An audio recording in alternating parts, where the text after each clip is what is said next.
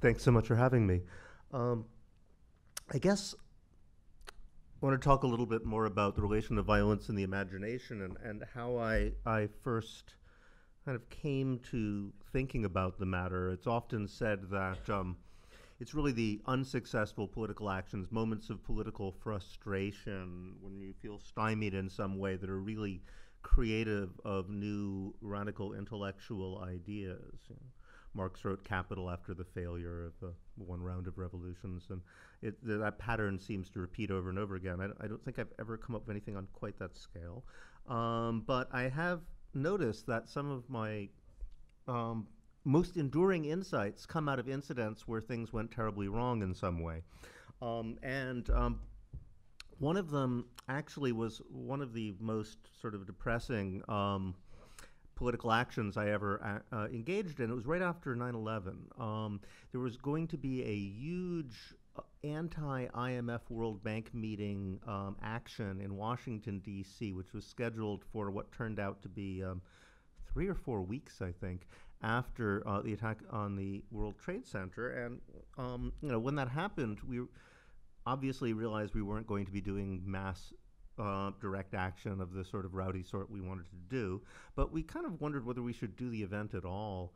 Um, a lot of people wanted to call it off, but we thought, well, you know, here's a moment where, especially if you're an anarchist in America and living in a town like, you know, a, a small town or even small city, if you're in Lawrence, Kansas, and there's like you know five other anarchists, um, you know you, are probably pretty alienated, depressed, and, and even scared right now. So you know just bringing everybody together would probably be something reassuring for everyone, um, whatever the circumstance. So we all showed up, and we just figured, oh, we'll just do a march, you know, um, and the event was extraordinary. There was about maybe uh, 2,000 anarchists maximum. There were at least 8,000 police. Um, police were armed to the teeth. Um, they and and but the interest and, and, you know they were just looking for an excuse to beat us up, um, which of course we didn't afford them one. But but they actually marched us. They kind of steered us on their own path, uh, determined path. Um, since they had such overwhelming numbers and armored vehicles and all that sort of thing. Um, and they put us right next to the World Bank building um, which we'd never been allowed anywhere near it before, uh, oh, partly owing to the fact that the World Bank building is entirely made of glass. um, so, so here they just basically parked us next to this giant glass building, and then surrounded and kettled us and wouldn't let us go for two hours. Um, sort of thinking, come on, give us an excuse. Um, and obviously, we weren't that stupid, so there's this standoff. We all sat there being very depressed, and eventually, I actually called 9/11. I remember that. Uh, um, I'd never done that before. I called emergency and said, "Help! Help! We are being surrounded by men with guns. Come save us!" Uh, to see what they would do. They're also so bored. Other people ordered a pizza, um, and um, eventually they let us go, and we all went home and were kind of depressed, and it was a miserable day. Um, and um, but what the real revelatory thing was is afterwards I talked to a friend who was actually married to someone. Uh, no, she, she, had a friend who was married to someone who actually went to the World Bank meetings that were happening at that time, and all it said all they all did was complain about how utterly miserable and horrible it was. They said, you know, there was like 17 layers of security. There was, um, you know, all the parties and the fun stuff was canceled. Half of them couldn't even get into town. They telecommuted. They all had to go through layer on layer of, of, of, of pat downs and searches and electrical things. Um, and, and, you know, they just, we, they just totally destroyed the meetings, which hardly took place. And I thought about that, and I thought, that's fascinating. Um, I mean, think about that. Like the World Bank and the IMF are two of the very most powerful organizations in the entire world. Um, and they were like, the, the police and general authorities were willing to shut down their annual shindig and their party and make them all miserable just so that 2,000 anarchists could have a really bad day. they must think we're really important. and think about that. You know, we we go around thinking we're really pathetic most of the time, but you know, like the most powerful people on earth, you know, have just told the second most powerful group of people on earth that they, you know they should not have any fun, just make us miserable. So why is it so important for them that, that we're miserable? Um, and the more I thought about it, the more I think that that one incident represents a kind of key to ruling class strategies over the last, at least since the 1960s. Um, you know, there's this kind of preemptive attitude. It is absolutely critical that people who organize to present some sort of radical uh, alternative to the established order do not have the feeling of agency and of having a fun time. It's so important that they don't, that they're willing to sacrifice almost anything to make sure nobody ever has that experience. Um, and it started like all sorts of other things started falling into place. Why is it that the U.S. lost the war in Iraq? Because you know, by any standard, it was a complete military catastrophe. You know, you now have Iraq divided between you know one force which is like to the right of Al Qaeda, you know, and then another force which is allied with Iran. Um, you know, it's like couldn't have been more geopolitically dis- um, destructive. And and why did it happen? Basically, what it happened because the entire U.S. strategy of waging war in Iraq was based on preventing any sort of Vietnam type social movement at home. I mean, they had calculations like how many body bags equals how many protesters. Um, they wrote this stuff up. You can find it. Um, and they designed their entire strategy of the occupation to guarantee that there aren't very many American casualties, especially death. Um, and so as to prevent any sort of um, resistance and organization at home, because all these guys had gone to college in the '60s, you know, um, and they remembered it, and is very vivid in their imaginations um, as the very thing they most want to make sure doesn't happen again. As a result, they set up terms of engagement which guaranteed that um, to minimize American military casualties, they just killed endless numbers of Iraqi civilians, which made everybody hate them so much they basically lost the war. But it was more important to them, again, to prevent um, any sort of social movement from happening at home than actually winning a military con- uh, conflict overseas. It's almost as if the I wrote somewhere the um, American military in Iraq was actually defeated by the ghost of Abbie Hoffman, which terrified them and sort of haunted them during the entire time.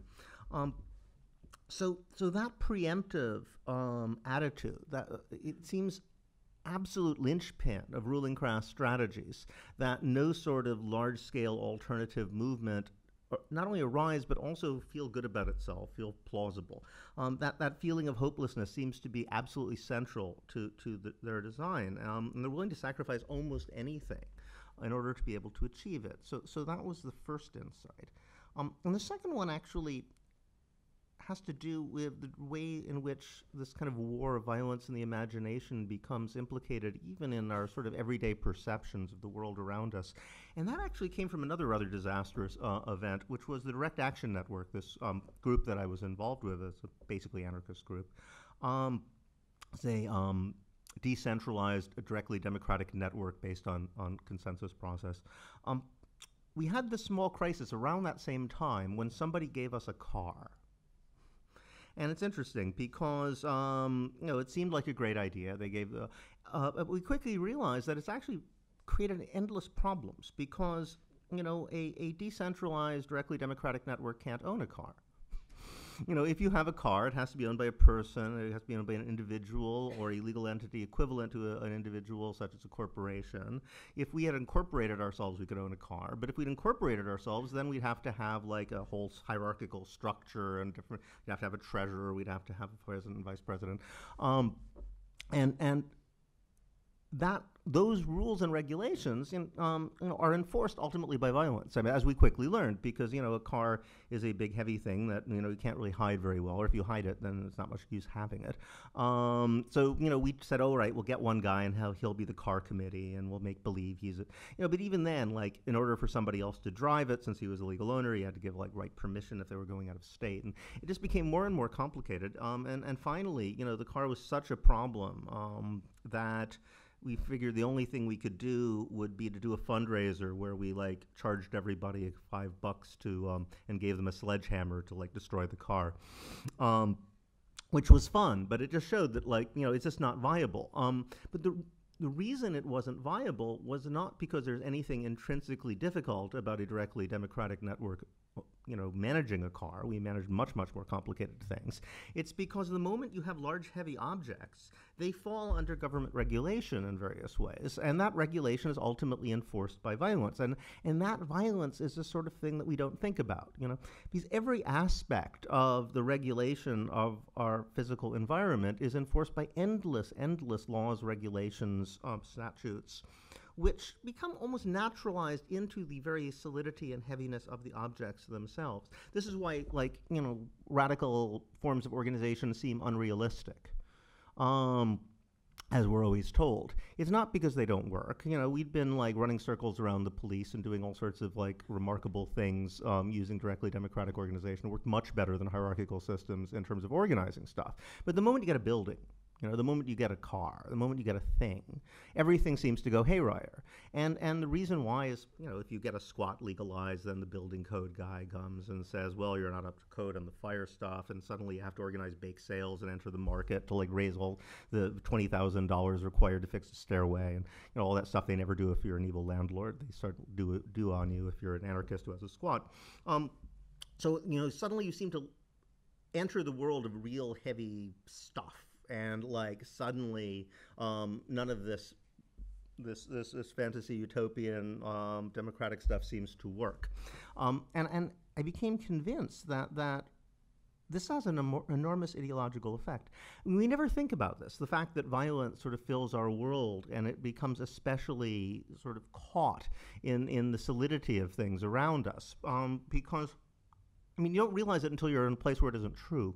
I lived in Madagascar for a couple years, and um, you know, I was in a small town in a village, and where the cops had basically gone away, and insofar as they were around, they didn't enforce stupid rules about how high signs could be, or what your stairs are supposed to be like, or you know, what you can drink where, and here, what you can smoke where, and how you have to stand in this place to do that thing, and you know, and we don't realize that like every aspect uh, of of our everyday conduct and anything we consider public space, which of course in Madagascar is all space because people don't really hang around inside very much, um, is is regulated by laws which you know there's a guy with a stick who will come and ultimately beat you up if you break them, and we don't think about it because we never actually do that unless you're an anarchist, and then you actually will sometimes you know actually see what will happen if you refuse to take down the sign, and yeah they will they will eventually start hitting you. Um, so so I realized that that that violence becomes incorporated into our world in ways we don't recognize it. Even the phrase structural violence. It's always frustrated me that, like, you know, I used to think what structural violence meant, and I still do. Um, I used to think other people thought what structural violence meant was exactly that the way that um, you know there are forms of inequality and oppression which are ultimately displacements of, of physical violence so you know racism is a form of structural violence sexism patriarchy is a form of structural violence but you know it, it doesn't ex- but the, the sort of liberal definition the definition everybody uses is that these things exist because they are forms of inequality that have violent effects. You know, racism causes people to get sick and die, and um, it causes terrible things to happen to people, causes them to get shot by police. Um, but in fact, um, it's it's actually the violence which holds the whole thing together. In a way, they're displacements of violence, um, insofar as you know, were there not a, a, structure of violence already existing, these things like wouldn't make any difference. And um, they're all ultimately based on um, larger structures whereby violence is systematically deployed. Um, and and you know, the reason you don't see it is because it, it works best when, when the violence isn't actually deployed. You know, when, when there's real physical violence going on, it's because those structures of violence aren't particularly effective. Um, um, how to start with this? Um, an example might be well, it all has to do with the nature of violence. So this is where I eventually went with this. Um, I realized that, that the difference between imagination and violence, uh, when I started contemplating this, ran much, much deeper than I'd imagined. Um, and these were alternative principles in a way that I hadn't thought. And, you know, I'm an anthropologist, and for anthropologists, everything's really about symbols, imagination. Um, and the literature on violence that exists in anthropology is all about how violence is symbolic, how violence is communicative. But it occurred to me when I was um, considering some of these phenomena, and all started with the car, um, and the way that violence sort of disappears around us as a way of enforcing rules, that what's really interesting about violence, I mean, it's true, violence is communicative. Like, um, you know, if you blow something up, you're doing it to scare people, generally speaking. If you shoot someone, it's to give an example. There's a whole literature on the symbolism and sort of various different forms of, of, of terrorism, basically, you know, used deployed by violent people. But it's also true that violence is almost unique among um, social actions because in part that's not true. You know, if you say something is symbolic or communicative as a form of action, you're not saying very much because all forms of action are symbolic and communicative. And um, what's interesting about violence is that it's the only form of, of action that has any real chance of having a systematic uh, and predictable effect on others uh, without the medium of, of symbolic um, communication of any kind. And that could be very minimum, like, you know, they're doing something, you shoot them and they stop because they're dead. Um, but nonetheless, it's fairly predictable.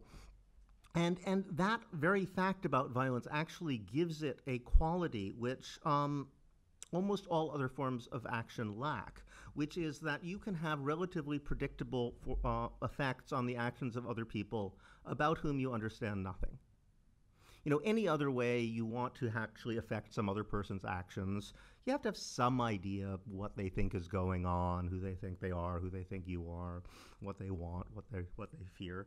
But you know, if you shoot them or hit them hard enough, that, that kind of becomes irrelevant. Um, this is why violence is the preferred weapon of the stupid. Um, but there's another catch to that, and one reason why we don't notice this because you know, insofar as two people are roughly equally matched in their capacity for violence, you know, if I'm having a duel with you, or you know, you're Rommel and I'm Patton, and we're having a tank battle or something. Well, yeah, I've got to figure out what's going on in your head. Um, I do have to actually imagine and do that work of imagining another person. Um, note imagination. Um, if, on the other hand, I have utter disproportionate means of violence and you don't, I don't have to do much imagining.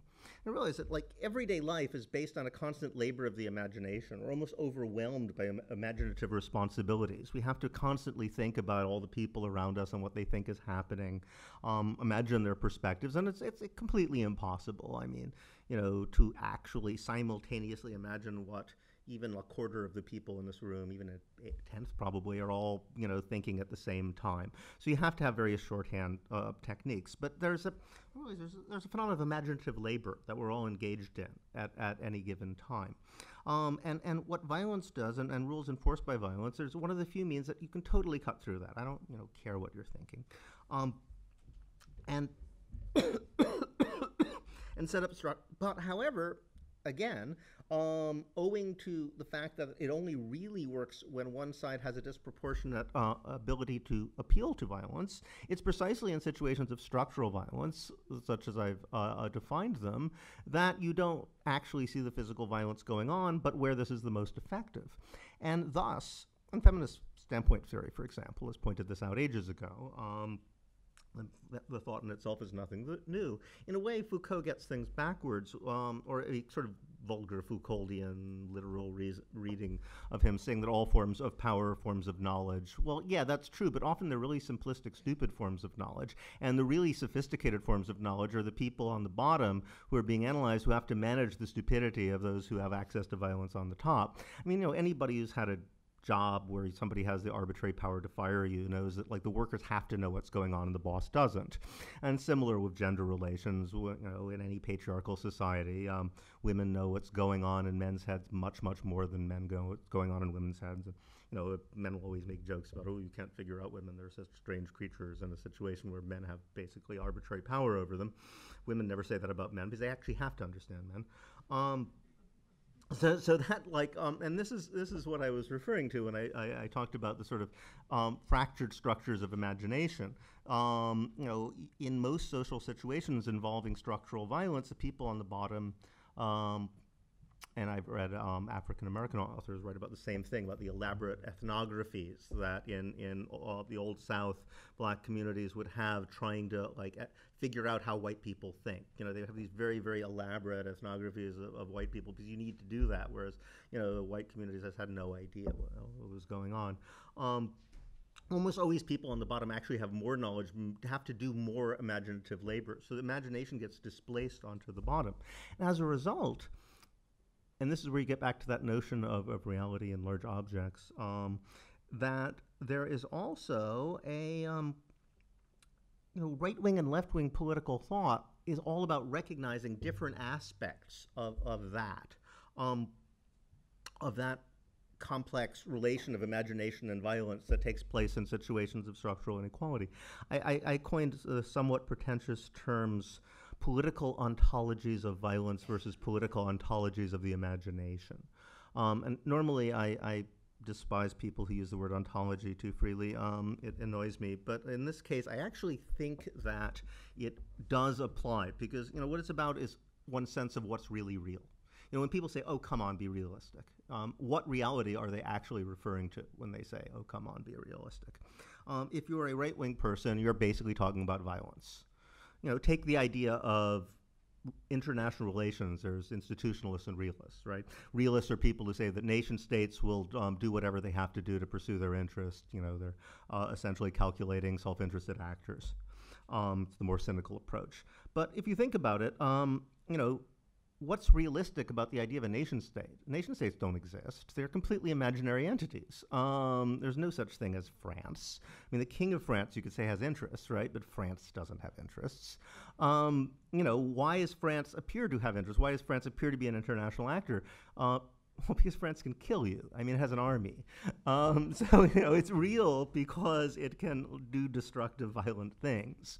Um, and this applies on every level. Even when we talk about real estate, you know, the large and heavy objects. You know what real estate comes from? It doesn't actually come from res, uh, uh, the Latin word for, for thing, uh, like most of our uses of real. It actually comes from real, belonging to the king. His sovereign power ultimately owns, you know, since the king has ultimate coercive power over everything, he can take whatever he likes, so that all large, heavy objects ultimately belong to the king. Um, now, so that's a sort of political ontology of violence. If you look at the you know sort of right wing conceptions, um, the assumption is always that the ultimate reality is one of force, and we just have to deal with that. Um, there's different branches of that. Oh, um, well, oh, the other aspect of this is the assumption that if you do bring imagination into the political sphere, the results are likely to be disastrous. I always talk about like superhero comics as actually revealing a lot of this tacitly right-wing ideology. It's, it's kind of interesting because if you think about it, um, in you know sort of classic Batman, Superman, Spider-Man, old-fashioned um, sort of genre stuff. Um, you know, the only really imaginative characters are, are the bad guys, right? I mean, the only people who, because you know, think about it, Superman, he could do anything, and he has no, the guy has no imagination. You know, he's just sitting around. All he can think to do is, is fight crime. Um, all these guys have these enormous powers. They could be doing like amazing things, and they never do. Um, they just sort of intervene to like keep things kind of the same. The you know the, the bad guys they have imagination, but it always leads to you know sort of so you identify with them at first, right? Because they're having fun at least and have projects and plans. Uh, but it's ultimately disastrous. So then you finally have to sort of they're the kind of libido, and you re-identify with, with, with the superheroes who, who beat them back into submission. Um, but if you think about it, they're the ones who are actually applying imagination on a uh, on a cosmic or national or political scale. Whereas, like the superheroes, what, what they can be imaginative, but it's entirely confined to what their clothes, their cars, their you know their paraphernalia, basically consumption stuff, their houses. You know, they get to have a bat cave. So you know that seems to be the message, right? It's like com- confine the imagination to the consumer domestic sphere. That's okay. If you get imaginative outside that, disasters, death, chaos will will will ensue. And that's basically the essence of right wing ideas. Uh, essentially, the difference between conservatism and fascism, they both agree with that, right? If you unleash the imagination in the political sphere, only disaster will ensue. Conservatives, therefore, don't want to um, unleash the imagination in the political sphere, and, and fascists want to do it anyway. Um, but you know, the opposite of that is is what I call political ontologies of the imagination, because if, and this goes back to um, the the real origins of what we call the left. Um, because whether you have Marx and the idea of production, and of course Marx starts as a sort of romantic poet, actually, um, or you have the sort of more romantic, imaginative um, conception, the idea of uh, the hidden reality that we don't acknowledge, whereas on the right wing it's violence, you know, it's left wing, it's somebody had to think this up, somebody had to produce it, somebody. Um, so ultimately, that sort of imaginative production um, is the thing that nobody wants you to talk about. They just want to talk about exchange.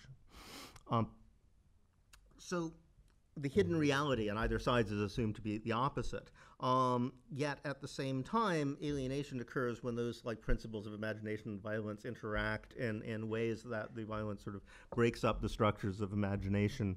Um, in different ways, and it happens opposite. And you know, you can have it either in the sort of classic Marxian way, whereby you know the guys who actually get to design things are doing the imaginative work, and and the people on the bottom are doing the unimaginative, like physical labor. Or you can do it the other way around, you know, which is most social relations, um, whereby it's the people on the bottom. You know, it's like the women who have to like manage the social relations, and the guys are wandering around uh, obliviously. So that imaginative labor is is deferred to the people, the, the subordinates. Um, now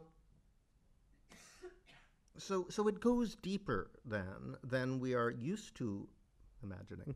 Um, but it makes sense that you know the ultimate uh, project, the ultimate neoliberal project of the last 30 years, has been essentially to win this war on the imagination.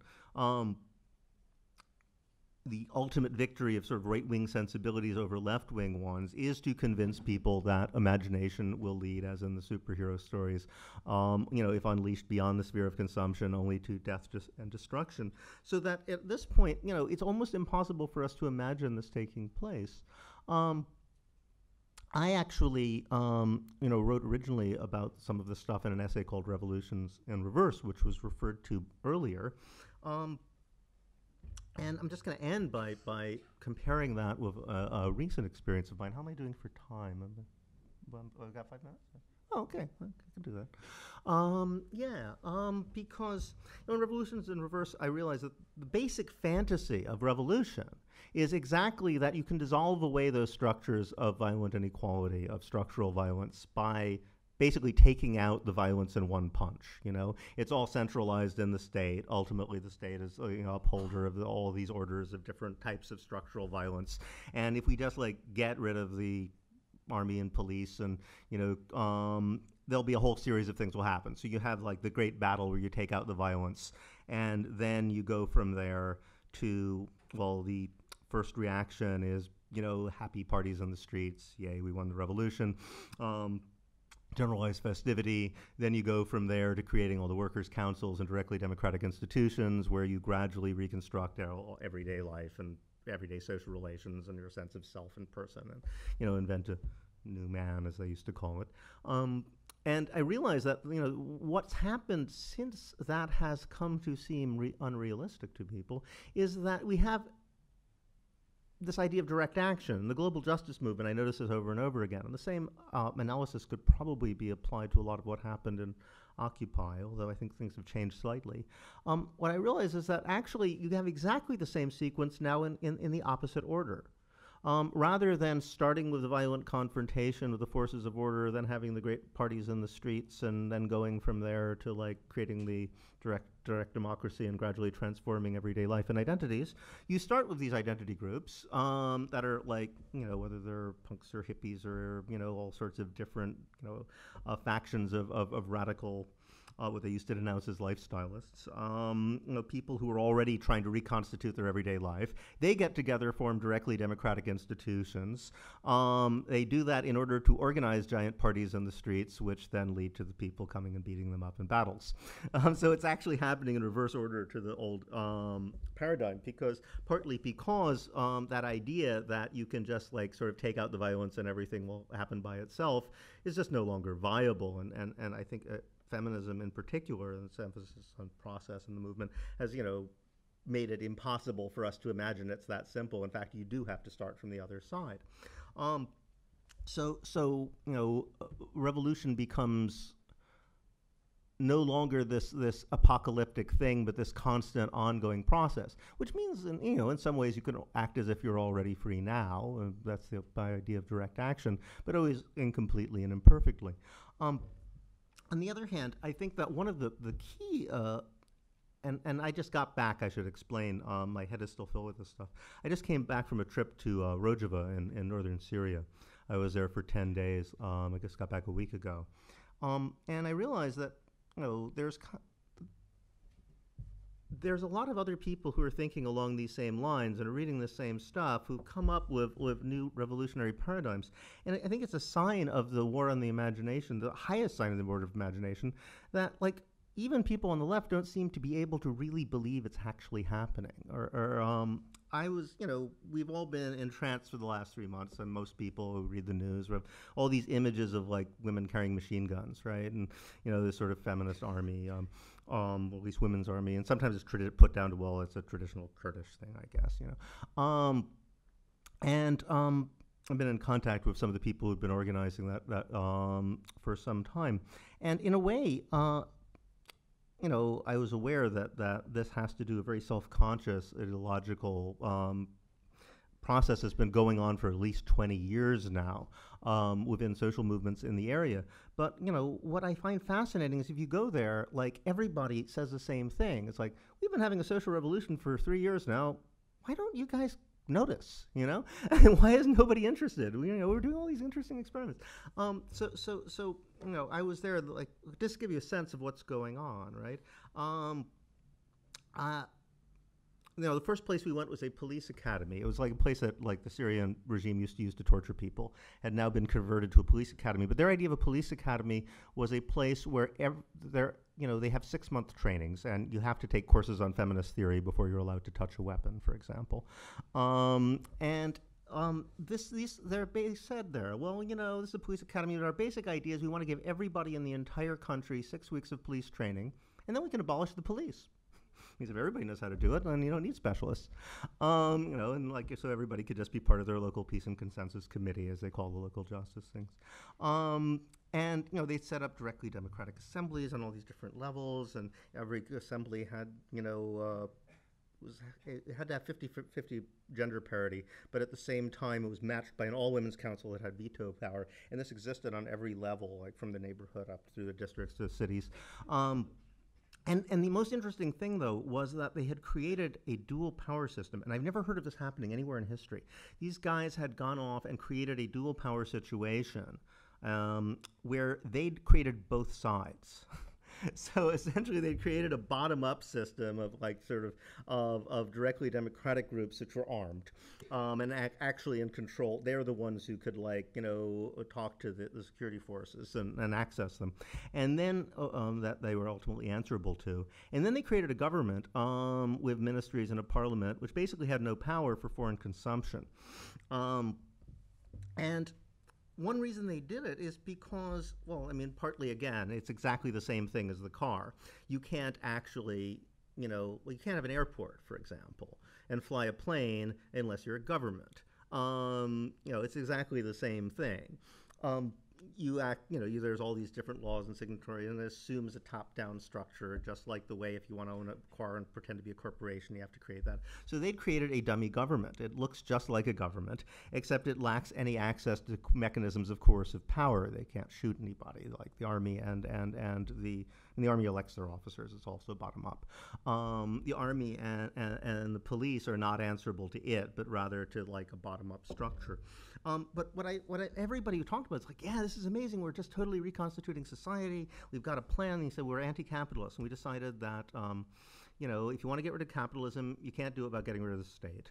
Um, but if you want to get rid of the state, you can't do that without getting rid of patriarchy. So we're going to do that. Um, and and this is the logic which lies behind this thing. But but the, the fascinating thing is that I should have to tell this because you know, like they're willing to tell this to anybody who's willing to listen, but as far as I know, like nobody knows this stuff.